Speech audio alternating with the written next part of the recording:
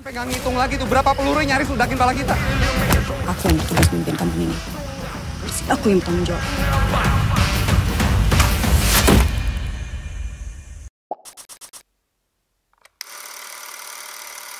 Hai, balik lagi barengan sama gue Aileen di Highflix ngobrolin film yang asik-asik. Kalau filmnya nggak asik, kita nggak ngobrolin. Sekarang aku udah sama Kak Agni sama Kak Hana. Halo. Hai. Apa kabar dua-duanya? Baik, ya. Aku baik juga.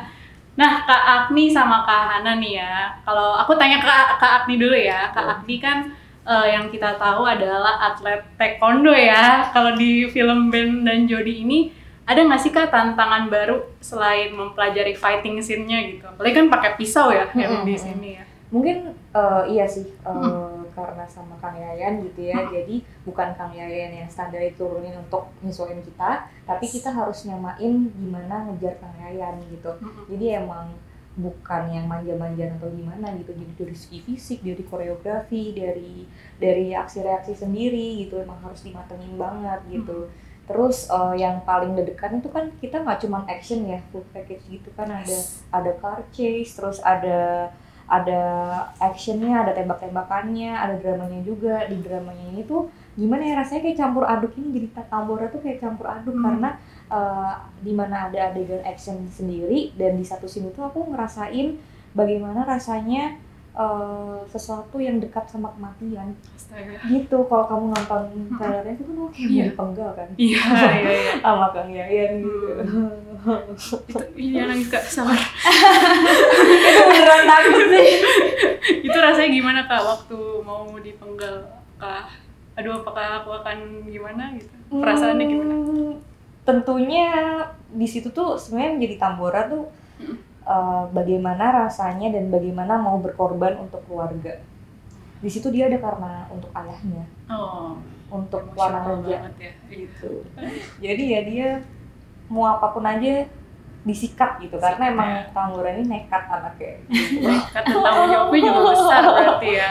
yes Nah untuk Kahana nih kita gantian ya kita pindah. Kahana sebelumnya belum ada pernah ya fighting scene Belum gitu ya. pernah. Terus apa yang membuat Kahana jadi menerima project ini? Oke, jadi memang dulu itu pernah banget kepikiran. Aku memang uh, suka olahraga, jadi setiap hari juga olahraga. Jadi memang dulu sempat kepikiran, duh kayaknya main action seru deh. Kayak dengar ceritanya juga kan orang yang uh, main action.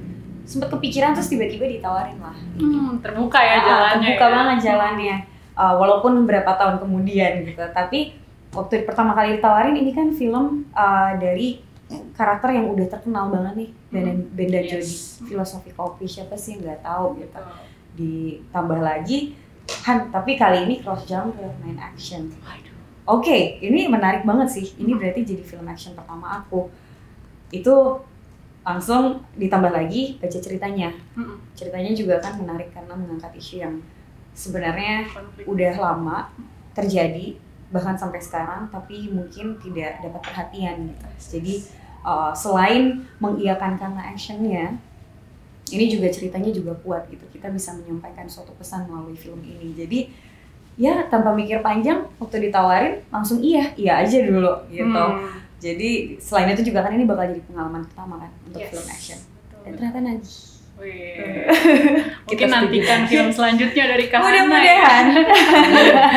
Terus kan itu film action bukan cuman berantem juga ya kak ya. Iya. Kakak juga memanah ya kalau Iya, nggak salah. Nah betul. itu gimana tuh kak Iya seru. Nah ini makanya jadi kalau Rinjani ini kan punya keahlian memanah. Yes. Jadi waktu diajarin pertama, eh, di sini kan Rinjani bukan atlet, jadi memang dia juga latihan memanahnya juga otodidak aja. Wow. Yang penting dia mengikuti kayak naluri dan instingnya dia gimana sih orang eh, di situ dia sebagai sosok pemimpin yang harus menjaga desanya. Dia dia melakukan apa pun untuk menjaga desanya ya salah satunya dengan mempelajari bela diri sejak kecil. Jadi sebenarnya warga desa Wonarja ini juga semuanya Hmm. harus punya basic untuk bela diri karena untuk menjaga diri dan tanahnya dan desanya.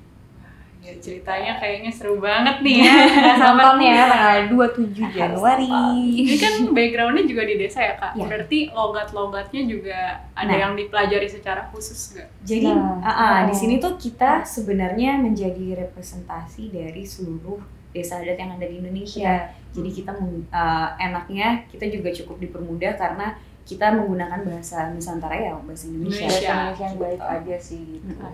Kita tidak menunjuk ke satu daerah, jadi bahasa pakai bahasanya bahasa Indonesia. Kalau misalnya untuk untuk Kak Agni dan Kak Hana juga nih mendalami peran seorang Tambora dan Rinjani itu susah gak sih? Mungkin Kak Agni dulu. Kalau dari aku sendiri karena aku nggak tahu ya rasanya bagaimana bagaimana di tengah-tengah masyarakat yang mengalami ketidakadilan ini, aku jadi nyari tahu, aku riset gitu. Aku baca buku, aku nonton video-videonya Watchdog yang yang Samin, Samin. nah, itu dokumenter tentang indigenous people gitu.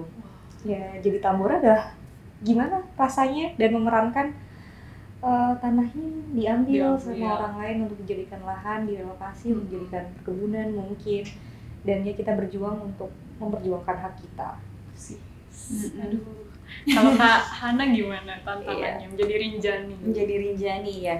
Secara karakter sebenarnya ya itu kita juga kan um, dikasih video dan dikasih reference juga untuk seperti apa sih orang-orang yang mengalami hal seperti itu gitu karena ada video asli pun yang orang-orangnya sedang mengalami uh, perebutan lahan itu jadi kita uh, melihat dari situ dan enaknya untuk Rinjani ini juga sebenarnya dibebaskan gitu kita yuk kita explore uh, seperti apa sih karakternya. Jadi kita membentuk Rinjani ini tuh bersama-sama sih. Jadi kita diskusin juga dengan direkturnya terus karakter dia terus backgroundnya seperti apa kenapa dia menjadi seperti ini karakternya itu. Jadi di- lebih banyak ke diskusi dan melihat referensi seperti itu untuk dapetin karakter Rinjani. Wah, ini berarti karakter-karakternya aja di riset secara khusus. Berarti ada tantangan tersendiri juga. Terus syutingnya juga di hutan ya kak ya? iya Boleh diceritain gak sih di hutan tuh apa nih kesan dan pesan yang paling memorable buat kakak-kakak berdua ini? Mungkin dari Kak Agni dulu. apa ya aku pengen bilang makasih ke hutannya gitu ya sudah bekerja sama sama aku walaupun ya sempat hujan Berapa hari, Kak? gitu Syuting. Eh, syutingnya tuh 40 Iya, harian benar, gitu 40-an ya. Hmm. tapi kalau untuk actionnya sendiri di tujuh harian Tujuh berarti. harian. gitu Oke, aku mau bilang terima kasih sih gitu alhamdulillah lancar Hutan, at hutan, terima kasih. Hana, kita syutingnya di Sukabumi di gitu ya Sukabumi. Iya. Dingin ya. dingin banget emang harus ngejagain fisik banget kan kalau udah dingin Mm-mm. fisik cepet habis jadi emang bener-bener di eh, digeber banget sama Kang Yayan sampai untuk sampai masuk ke set Iya. Keren, keren, keren. Kalau dari Kak Hana yang memorable apa nih? memorable ya. Di hutan.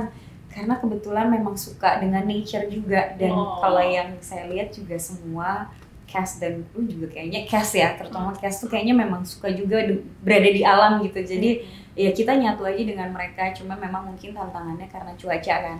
Cuacanya hujan. Kita syuting di akhir tahun di mana hujan lagi lagi Banyak-banyak. banyak banyaknya lagi sering seringnya Yes. jadi kita um, karena action lari-lari loncat-loncat. Jadi kita harus super super dan ekstra hati-hati untuk uh, untuk semuanya supaya nggak cedera. Karena kan bahaya kalau sampai cedera.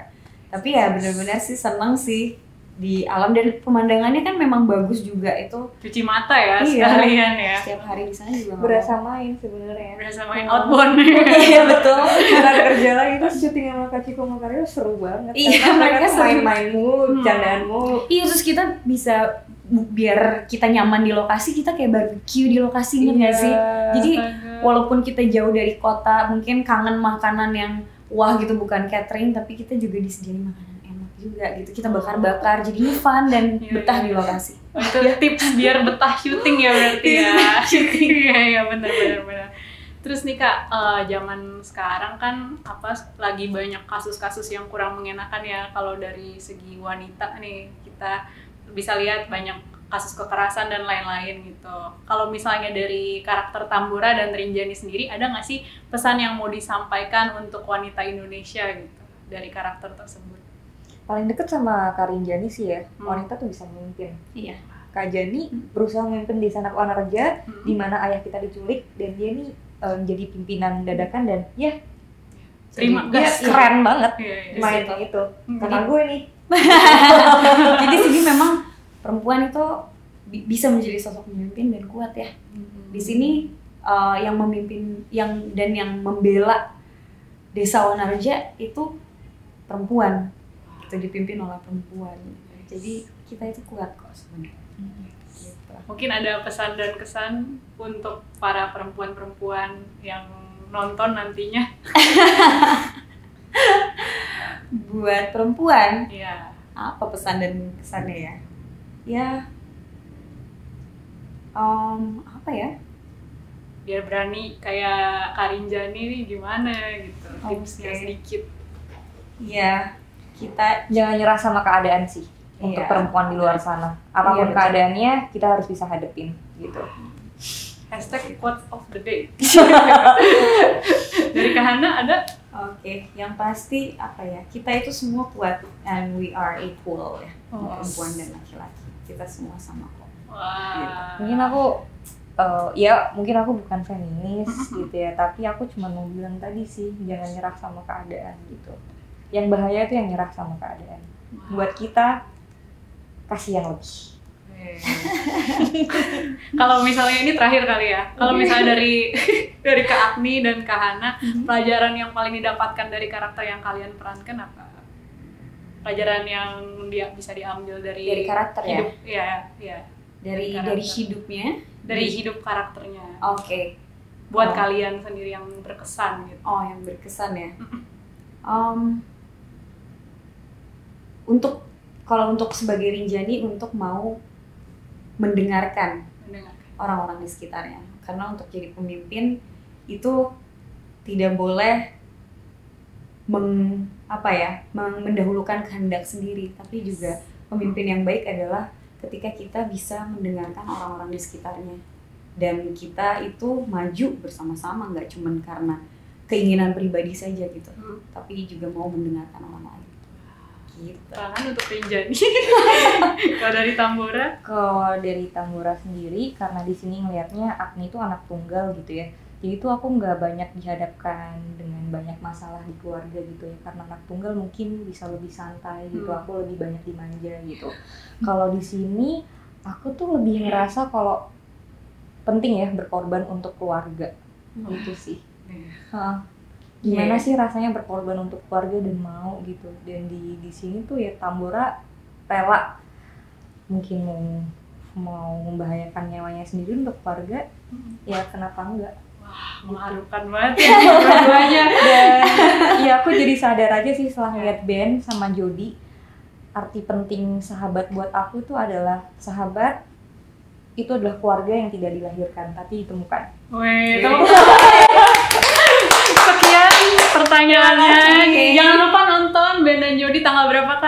27 Januari, iya. Januari. di bioskop kesayangan kalian. Harus di bioskop nontonnya. Kalau nggak nonton.